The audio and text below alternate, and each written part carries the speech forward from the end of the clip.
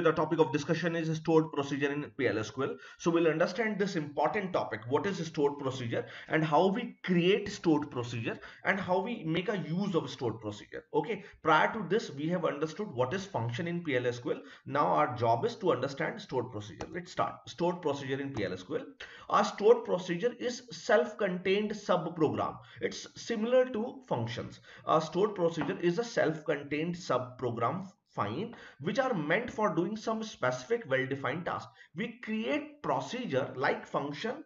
We create procedure also for doing some specific task. Okay fine okay. Stored procedure are named pl sql block. Like function stored procedure are also named pl sql blocks. They are some block of statement which means they can be stored in a database as database object. So we can store this block in database as database objects and can be reused and this is one of the important factor of creating procedure and function. What because we can once we create and many time we can use it. Okay fine. Okay.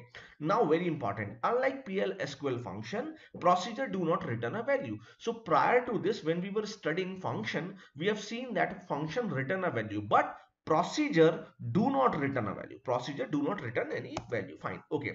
So there are two type of sub programs we have understood. One is pl plsql function. We have cleared this we have understood this.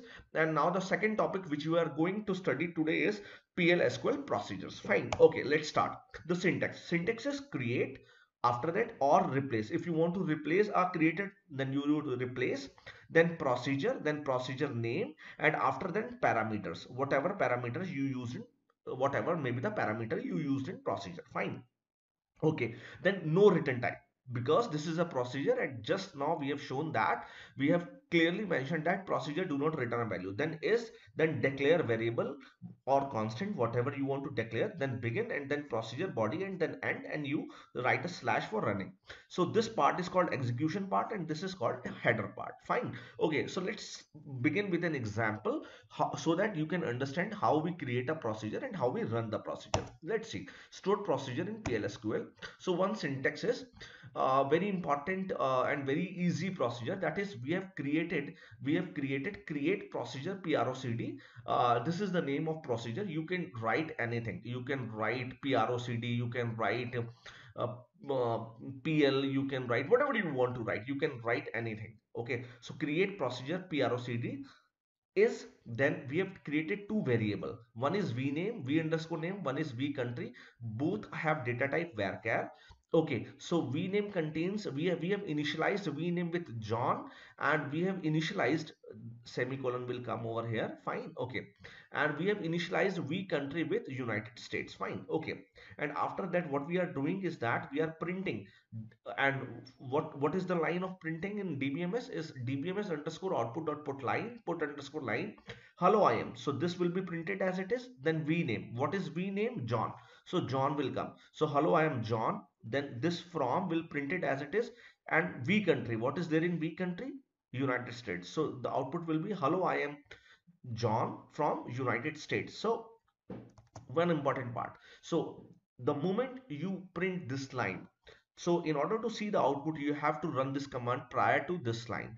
So set server output on is a command which is used for di displaying output of dbms underscore output dot put underscore line. Excuse me. Okay.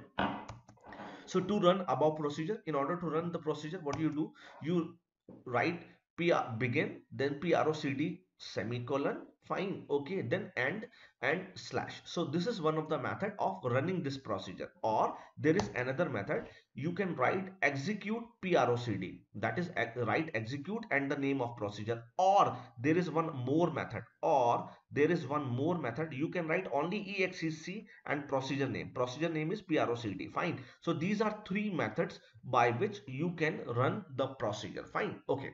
So okay. Let's start so these are all theoretical parts so let's start with uh, let me show you how we can run this. Okay. So let me show you how we can run all this procedure. So let me start with the procedure. And i have already created this procedure. So i'm not going to waste a time of yours. So i've already created a procedure procd1 fine. This. Okay. Control c and control v now you can see this is create procedure and the name of procedure is procd1 whatever you want you can write is then we have created two variable vname and vcountry their data type is varchar fine. And size is 10 and 16 respectively. In vname we have initialized with john. And vcountry we have initialized with united states. Then begin. And what we are trying to print dbms underscore output dot put line. Hello i am vname from vcountry fine. And let me run this okay procedure created. So successfully you have created this procedure. Which procedure? Procd1 so how to run this? One method is begin begin then procd1 procedure name semicolon then end end semicolon and then slash. And now you can see. Hello you can see the output. Hello i am john from united states. Fine. So we have finally run this procedure. One method another method E-X-E-C-U-T-E execute okay? Execute then procedure is P-R-O-C-D-1 fine okay. See again after execute you are finding output hello I am John from United States. One more method E-X-E-C and procedure name P-R-O-C-D-1 fine. Again you can see after exec procd you are finding output hello i am john and from united states. So this is the three method. These are three methods through which you can run your procedure. Okay so at last what i'll say the thing which i always say is what? Thank you so much. Thank you so much